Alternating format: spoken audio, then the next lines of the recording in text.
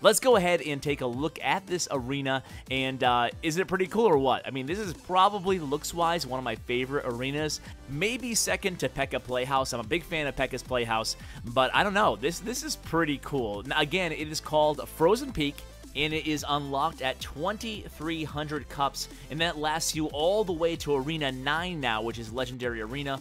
Arena 9 will be a 3,000 plus, obviously, but as far as the amount of trophies in between arenas, this is definitely the biggest, uh, taking the cake with 700 cups between Frozen Peak and Legendary Arena. It's really cool. It has the uh, the snow everywhere. The flames look really cool uh, as a contrast to the uh, snow. I'm just playing a friendly little match here. By the way, guys, this is only sneak peek number one. You know a few things that are coming in this update. Let me just run through what we already know, and then stay tuned to my channel for the first possible news of next sneak peeks. I will have those the second we're allowed to release them. Already playing the new build right now, I can tell you there's a lot to look forward to.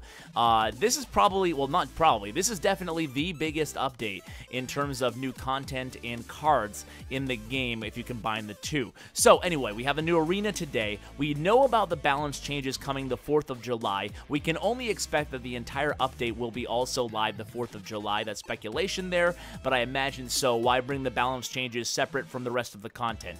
We also know that there's tournaments coming. Now, I've done a video on balance changes with the Rum Ham. We really go in depth, over a half an hour long, discussing every balance change individually and how it will affect the meta strategy throughout all trophy ranges. So check that out in case you missed that one. I'll put that in the link below.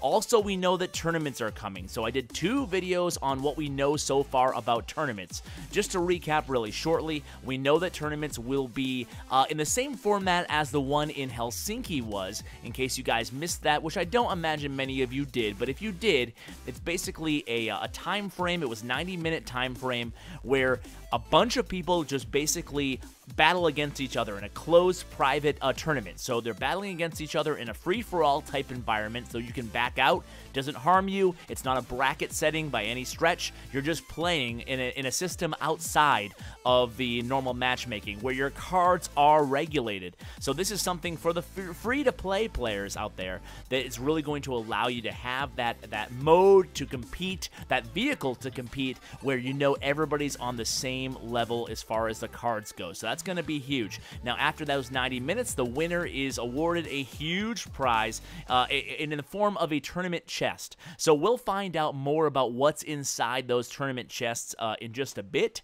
Uh, probably in the next few days, I will be covering more details as I'm allowed to share them on the tournament. So stay tuned for that as well. Stay tuned for new cards. And uh, today, you, you've just experienced the new arena.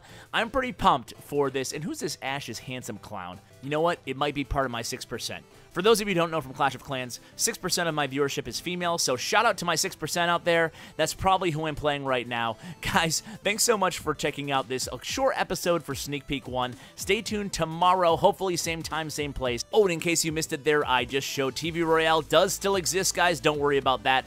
Thank you so much for watching, guys. I really appreciate it as always, and as always, take care, guys.